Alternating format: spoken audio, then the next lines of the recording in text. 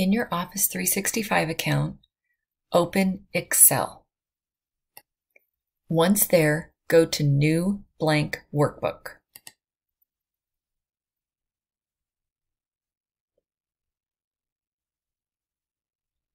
From here, all you need to do is click on Insert at the top and choose Forms, New Form.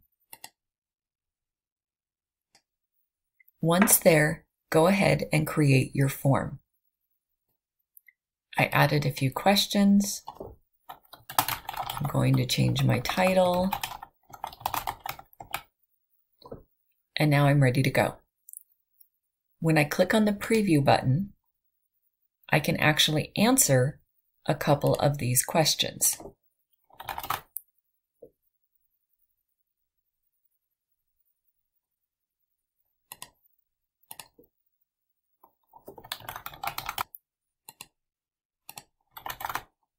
And hit submit.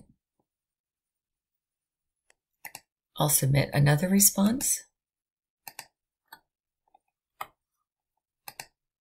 submit. Now when I go back to my Excel, the new answer appears and will continue to update.